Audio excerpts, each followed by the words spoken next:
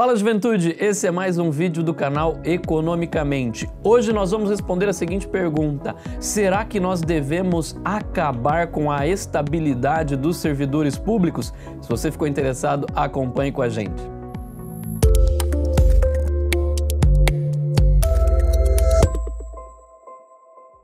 Uma discussão que é recorrente em todos os governos diz respeito ao fim da estabilidade dos servidores públicos. Note essas notícias, vocês vão perceber que esse é um assunto que está sempre em discussão. Mas a primeira pergunta que eu faço é: qual o motivo da estabilidade?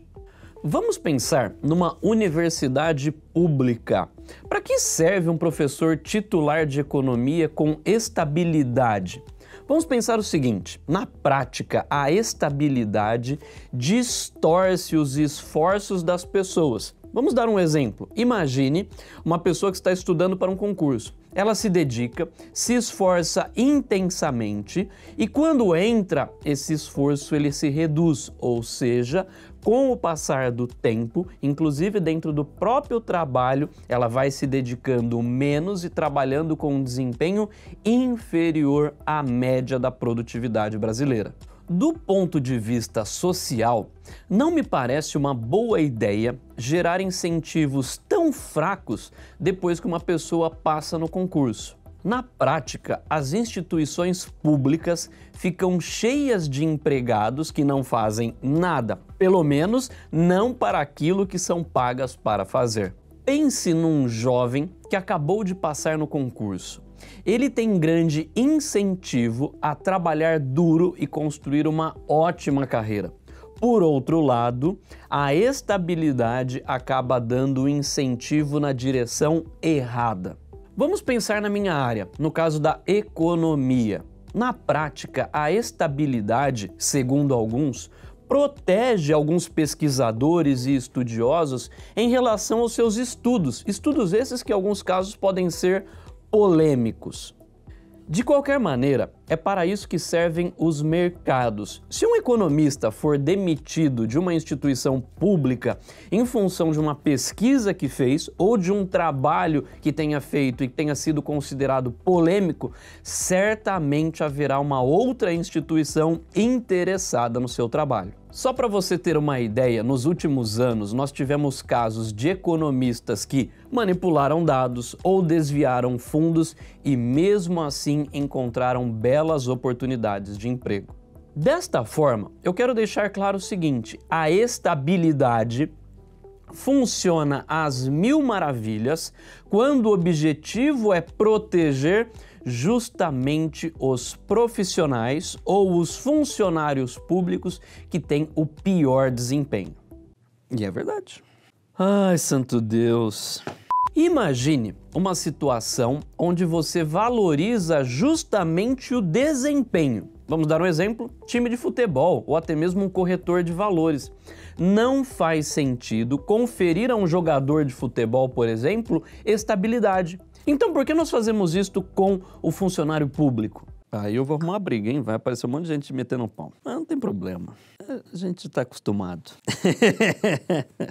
a melhor perspectiva seria que todas as instituições públicas coordenassem o exato momento para abolir simultaneamente a estabilidade. Talvez as repartições públicas descem aos pesos mortos, ou seja, aos funcionários de baixo desempenho, um ou dois anos para provar que de fato estão trabalhando num nível satisfatório ou realizando as entregas desejáveis, antes de serem demitidos. Ou seja, neste caso, alguns funcionários iriam embora, outros seriam demitidos e outro grupo de funcionários começaria a trabalhar cada vez mais e desempenhando um papel melhor dentro da sua instituição. Imagine que uma instituição pública decida unilateralmente abolir a estabilidade do funcionário público ou do seu funcionário. O que aconteceria? Certamente, neste caso, a instituição deveria melhorar a remuneração dos funcionários, justamente porque não teriam mais a estabilidade funcionando como uma apólice de seguro. Há um outro detalhe muito importante: a estabilidade é inversamente proporcional à qualidade do profissional. Neste caso, o que eu estou querendo dizer é o seguinte: os profissionais realmente bons e de excelente desempenho provavelmente não enfrentarão nenhum risco adicional com a perda da sua estabilidade. E neste caso, necessitarão de um aumento relativamente pequeno no seu salário para compensar a perda de estabilidade.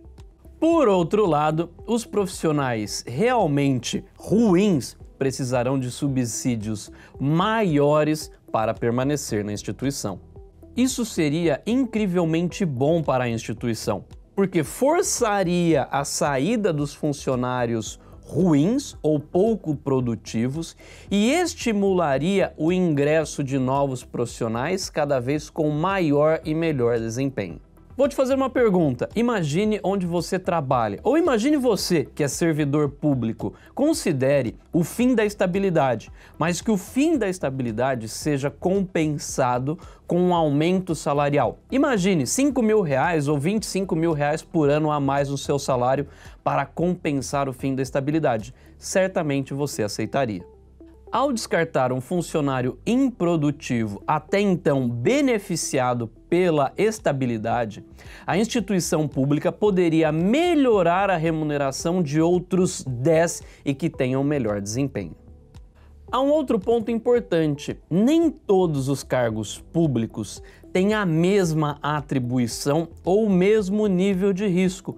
Consequentemente, não deveriam ter o mesmo nível de estabilidade. Pessoal, em resumo, o que eu quero colocar neste vídeo, que é extremamente importante nós criarmos mecanismos que induzam ao fim gradativo da estabilidade e ao mesmo tempo que nós criemos mecanismos de induzir maior responsabilidade, produtividade e desempenho dos servidores públicos. Houve uma época em que a estabilidade dos servidores públicos fazia sentido, mas certamente isso já passou e a economia mostra para você uma realidade totalmente diferente. Falando em economia, se você quer saber mais, se inscreva no nosso canal. That's all, folks. Isso é tudo, pessoal. Valeu!